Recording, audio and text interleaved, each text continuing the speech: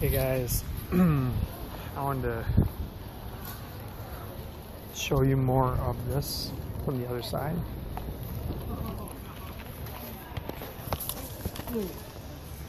It's hard for me to see the comments, just so you know.